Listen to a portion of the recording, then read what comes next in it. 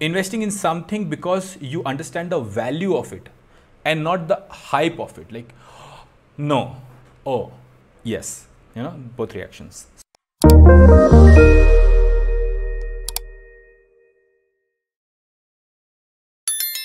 So why this talk? Okay uh, okay. So why this talk? There were two reasons. And the first reason is personal career. Look as as a as a person who is trying to be a mentor I don't want you to make the same mistakes I made because I didn't have a lot of idea. I didn't have people to talk to when I was starting up.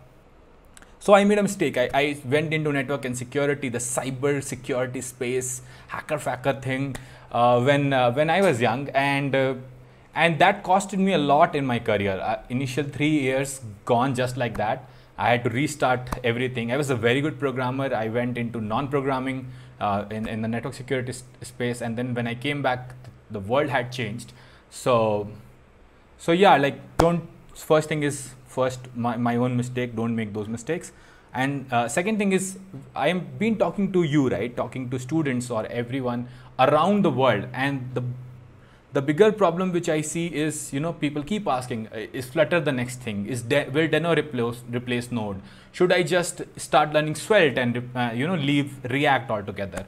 And, and recently in a talk also, I was in, uh, this is not recently now anymore. Uh, this was last year I went to Open Source India to give a, a, a, a workshop there. And someone came to me and he said, hey Tanay, I follow you on, uh, on, on Instagram and I, I, I, I listen to your podcast. And and there is so much to learn Tanay. I always feel like I will never be able to learn everything and I totally relate to it. It happens with me, it happens with everyone.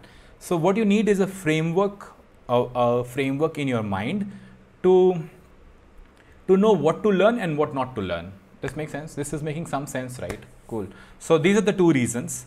Uh, and the third reason why I'm doing this, I had a lot of a lot many uh, items, but everyone in the Telegram poll, there was a unanimous polling. I think 50% votes went to this talk.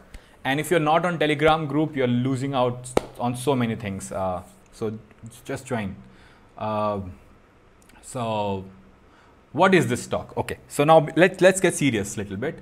So this covers the sound principles of value investing. If you don't know what value investing is, it's basically uh, investing in something because you understand the value of it and not the hype of it. Like no. Oh yes. You know both reactions. So understand the value and not the type uh, not the hype and not the hype and that's value investing you know the paying the price. So there's this book called uh, the intelligent investor which i have been reading i for i think almost two and two years. To understand how finance works it's a really good book. And that that book has this term value investing okay? And I, am a big fan of this this thinking. So i'm just trying to share that thinking with you. So so you understand what value investing is and then you use those principles to evaluate your tech investment. So what is tech investment? You know your time is money your effort is money and your career is money.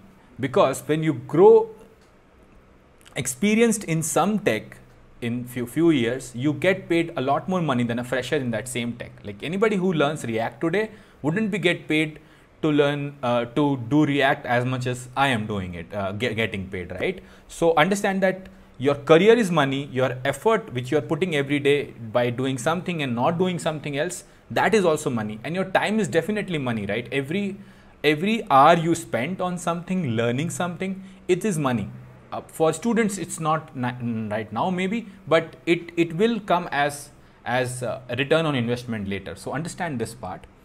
So invest your time and efforts wisely and how? We'll just see. But before we begin this is a beautiful shloka uh, which my mom keeps telling me all the time. Um, so i just want to share it with you and this is very much related to all, all the things.